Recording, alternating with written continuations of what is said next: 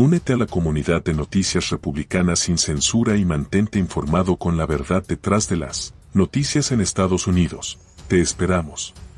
Bienvenidos a las noticias de última hora, donde estamos viendo un giro dramático en la política republicana en los Estados Unidos. A medida que se acerca la nominación presidencial de 2024, parece que los líderes del partido están regresando al redil y apoyando al expresidente Donald Trump, en lugar de considerar a otros candidatos como el gobernador Ron DeSantis. Este cambio de rumbo es sorprendente ya que, después de un desempeño deslucido en las elecciones de mitad de periodo, los líderes republicanos estaban cuestionando sobre la calidad de los candidatos y la influencia de Trump en el partido. Parecía que estaban listos para ofrecer su respaldo en otros lugares, pero desde entonces ha habido un cambio dramático en la situación. A pesar de enfrentarse a varias investigaciones y una acusación de 34 cargos penales en Nueva York, Trump está ganando respaldo entre los republicanos. Al menos 45 miembros de la Cámara han respaldado a Trump para la nominación republicana, en comparación con solo tres para DeSantis. Incluso en el estado natal de DeSantis, siete miembros de la Cámara han ofrecido su apoyo a Trump en lugar del gobernador del estado. Esos incluyen representante Baron Donalds, representante Matt Katz, diputada Anna Paulina Luna, representante Brian Mast, representante Corey Mills, representante John Rutherford, diputado Greg Stu. DeSantis ha intensificado los esfuerzos para establecer una posición nacional antes de decidir si se postula para presidente,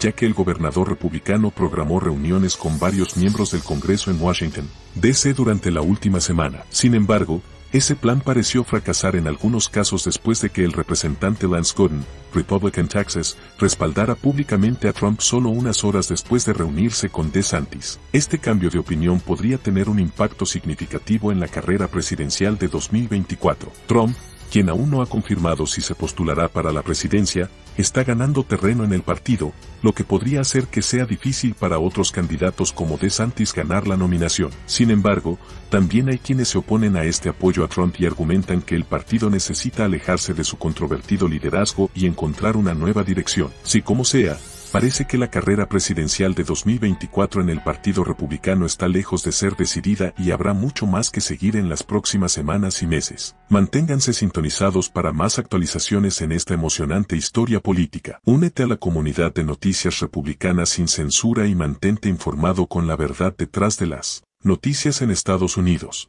Te esperamos.